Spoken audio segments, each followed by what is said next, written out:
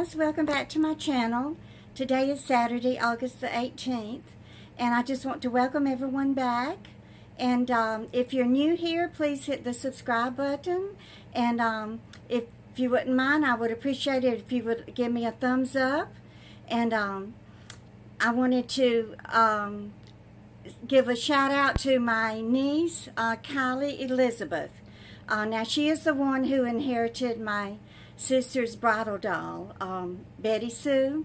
And Kylie wanted me to tell everybody that she has taken very good care of one shoe Betty Sue. And Kylie has already started back to school, and um, she is in the fifth grade this year. So if, if you wouldn't mind, just leave Kylie a sweet little comment uh, down below in the comment section. Uh, also today, I'm going to show y'all the um, the heirloom uh, bringing home baby outfit that I had told y'all about. Um, now, I bought this outfit in 1973 for my firstborn son, who is Jason. Uh, so I'm going to show that to y'all right now. Okay, it has a little hat that came with it. And it has a little collar and the little sleeves. And this is it. This is what I was telling y'all about. I brought my son Jason home from the hospital, uh, Gulfport Memorial in Gulfport, Mississippi, uh, February the 10th, 1973.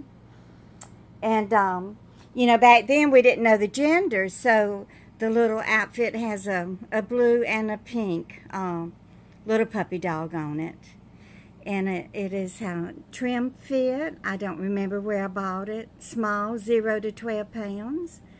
And look, it was actually made in the USA. Remember those days? when items were actually made in the United States. It has a little feed, and we've taken very good good care of it all these all these years, 45 years.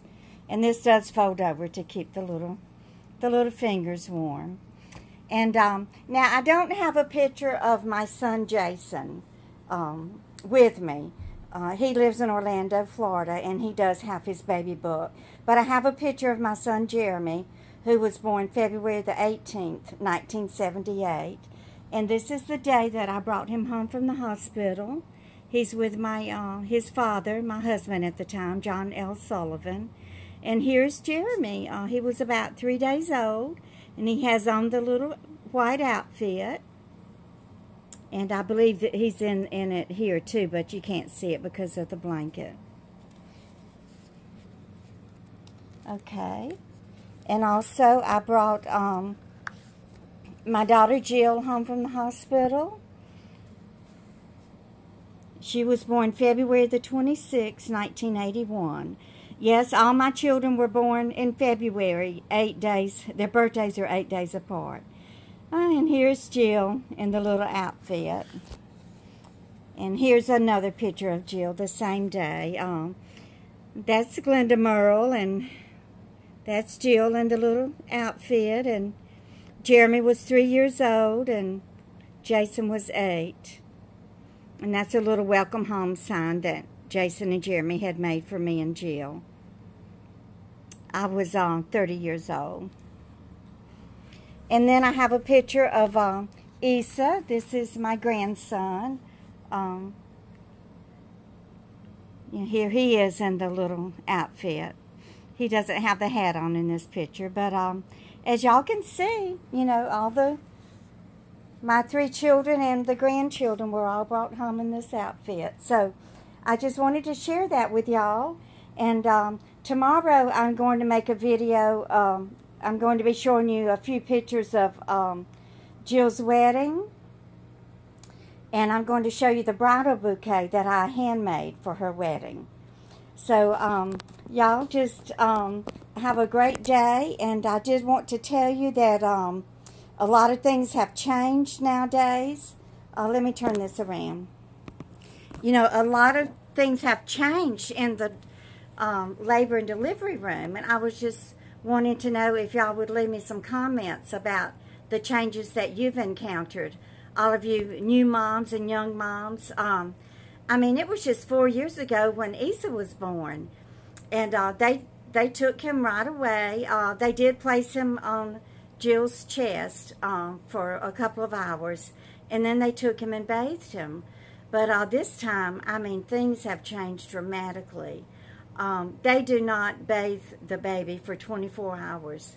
Uh, they just leave the vernix, uh, the you know the white coating on the baby, uh, the vernix coating. They do leave that on the baby for 24 hours.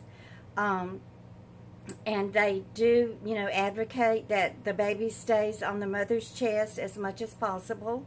Um, they don't have a nursery anymore for the babies. The baby does stay in the room with the mother, and they do uh, promote breastfeeding.